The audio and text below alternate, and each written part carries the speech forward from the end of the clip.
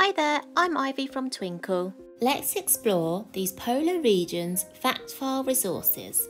This pack includes a range of fact files including information about the polar regions, where children can learn about cold climates and explore areas within the northern and southern hemisphere through map work.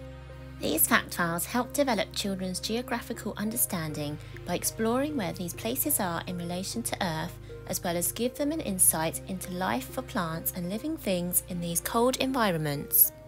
There is ample opportunity to prompt discussion about the similarities and differences between the two polar regions and allow children to compare to their own experiences. How are the seasons the same or different? What is the weather and temperature like compared to where you live?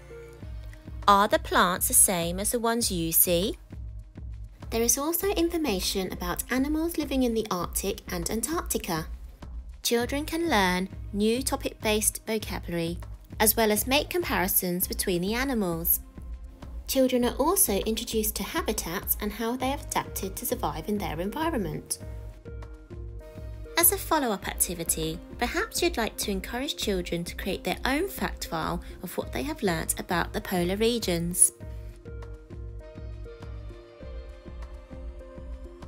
I hope you have found that helpful. You can find many more of our fact file resources on our Twinkl website. Thanks for watching and we'll see you soon.